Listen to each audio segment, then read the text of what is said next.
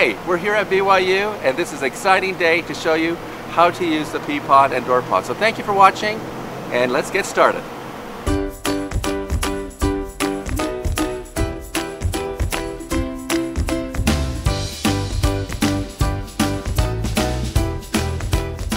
Hi, we're here at the BYU Conference Center and this is one of the first urinal we conducted a test uh, with uh, BYU. This particular urinal at the conference center on the right used to flood with one flush. So let's see what happens now.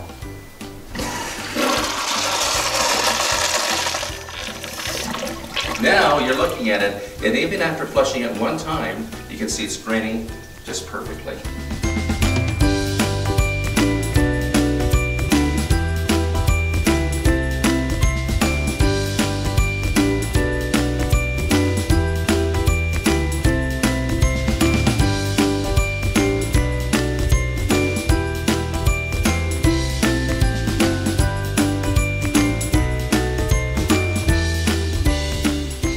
Okay, so we're about to install it here at the BYU Library in this color. And again, on this particular type of a square urinal, you're going to have to bend this pin back by 90 degrees to ensure to get the proper grip inside the upper flush hole. So here we go. You're going to stick it into the hole, make sure the grip is there, press it against the wall, slide it in, and the installation is perfect. For demonstration purposes, we like to show you that when you get the PeePod out of the case, remember to bend this pin in the very back by at least 90 degrees. Now I'd like to show you that this particular type of Kohler urinal here at the uh, BYU Library, it takes the pin to get bent back by additional 45 degrees angle. So we're going to use this wall as an example. Let's say that this is the surface of the urinal and as we place this pin you can see this flexing action of the pin and then you insert it up into the hole. So remember, you want to bend this pin back by as much as 90 degrees to ensure that the insertion is tight and has that spring-like action inside the urinal hole.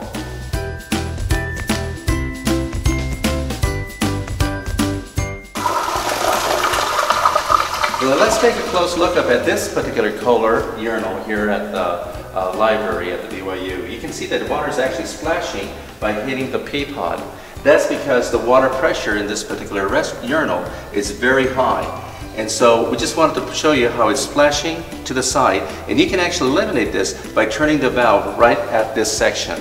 There's a little cap here. If you turn to the left, it will come off. And there's a flathead screwdriver right below this cap. You just simply crank it to the right.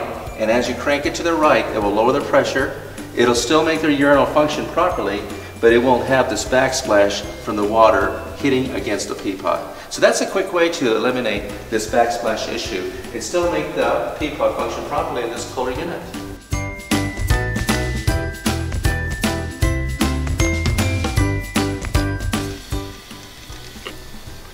Now this particular brand, Crane, is a fairly new urinal.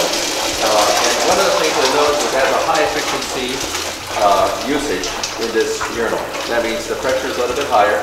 And as you can see on the top part of where the water is flushing out, it's much smaller than the pin for the PeePod. Now what we did was, if we come against this tile floor, tile wall, you can actually see the existing pin, and then we have this secondary pin called 332nd size pin.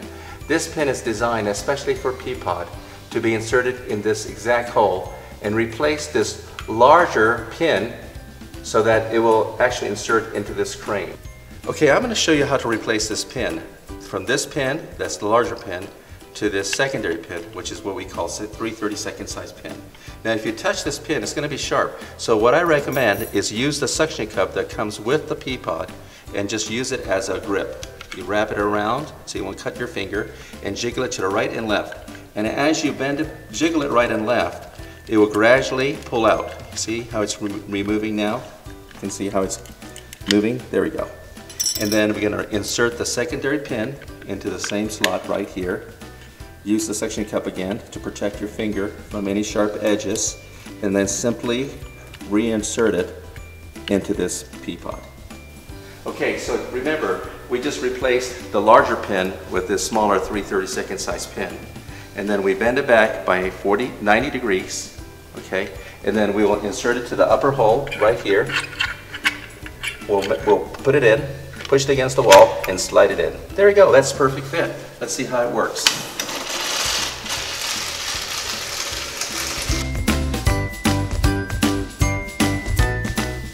Hi, now we're right here at Tanner Building, and every one of these urinals have PeePod. So let's go in, take a quick look at each one of the urinals. And one of the interesting things we're going to show you is the actual drain. You can see that it's completely clean. Let's go to the next one. So as you can see, when you use the PeePod regularly, and my recommendation is to change it between 30 and 60 days.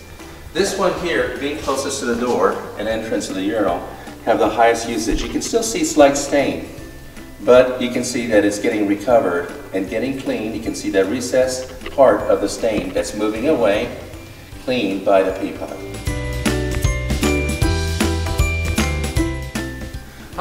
this is Richards Building. This is a great example of where PeePod is really needed. This is the bowl-shaped urinal. However, you've noticed that they've actually used the suction cup to install this PeePod. This is a brand new unit, and so you can see that it's starting to clean some of the uric acid. And let me flush it just to see, show you the, some of the stain and the washing action that PeePod is already doing as we speak.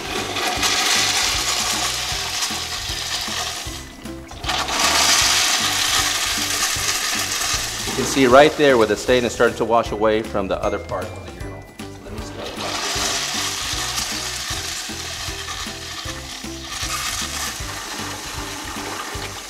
See all that stain?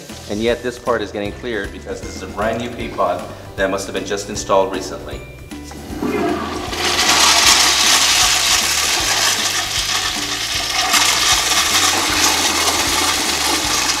Let's go to this rest urinal here. In this urinal, you can see that it's already been restored. You see that stain is actually washing out in the corners of the urinal.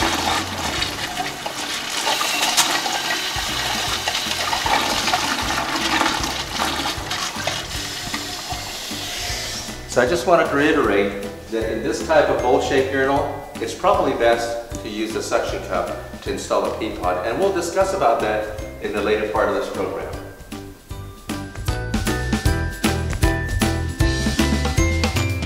Okay, in this particular color, as you can see, it will take a suction cup. So what we did was we removed the pin from the PeePod. This is a suction cup, it's made from silicone. You simply enter it into the back hole right here, snap it in, and then you can find a clean spot right inside the top part of the urinal, and you can actually mount it and it will stay in there. When you install the suction cup, make sure the surface is clean from any buildup of uric acid or the PeePod will slip and slide to the bottom of the drain. So make sure the surface is clean with an acid cleaner and then install it with a suction cup.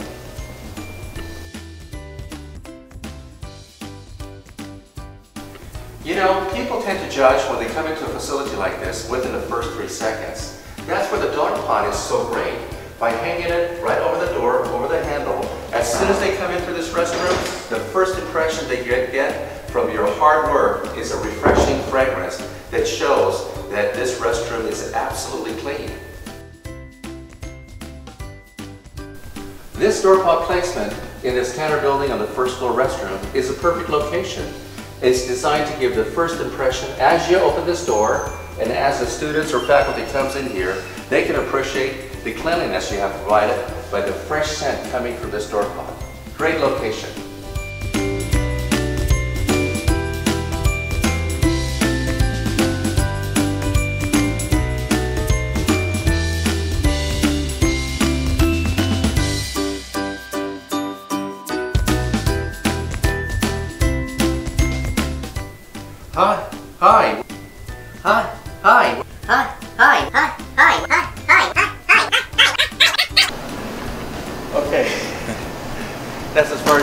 61 years old.